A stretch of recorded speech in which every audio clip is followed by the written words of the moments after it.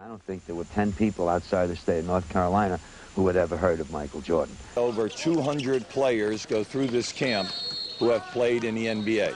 The perfect example is Michael Jordan, the greatest basketball player ever to play. Before he came to this camp, only two schools were recruiting him. One day in this camp, Michael Jordan exploded onto the scene, and then from there, it's nothing but history. But see, that's what this camp is about. You nervous? No. You should be.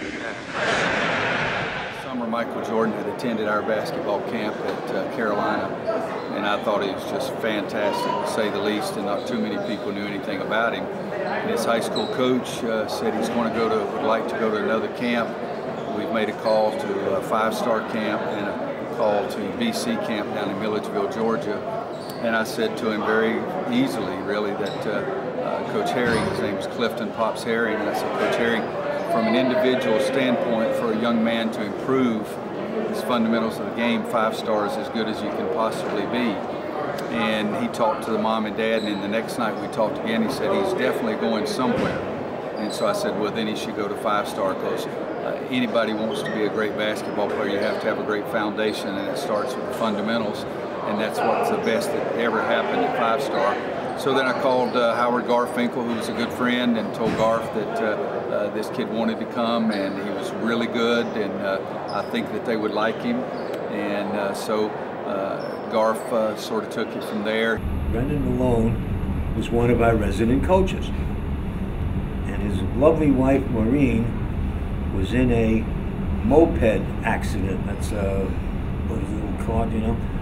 And she was she was coming out of the hospital the day the camp opened, and Brendan Malone was going to be late. He could not come to tryouts or the draft. We had a we have tryouts and then draft teams stay up to three in the morning.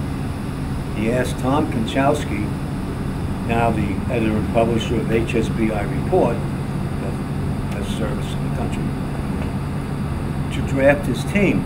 Now, apparently, in a prior, the year before, uh, Aubrey Sherrod and Greg Dreiling, two superstars from Wichita, Kansas, was on Brendan Malone's team and they won the championship. And they were both coming back as rising seniors to this week.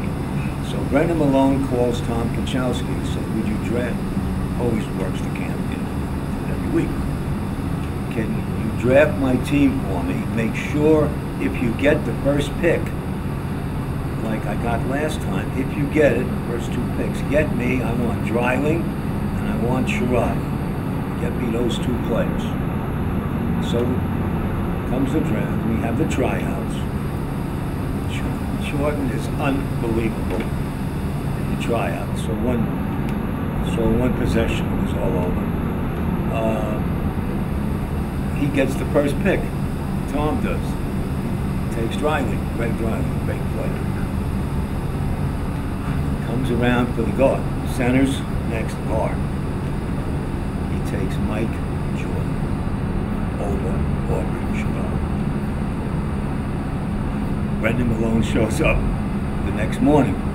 Says, Did you get me those players? And he looks at it and he sees Dreiling. He said, Who the hell is Mike Jordan? And he didn't say hell. Okay? He goes ballistic. On Tom, but not taking Sherrod.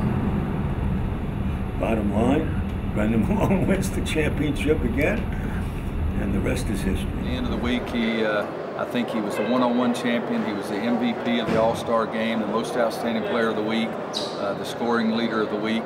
And Garf talked to him about staying the second week and I think made him a waiter, which had to clean the plates off the tables and things like that, and the rest of it's pretty much history. You know, BC Camp in Milledgeville, Georgia was good, but it was more just competition, so you can be uh, seen. Uh, they played games, games, games, games, games.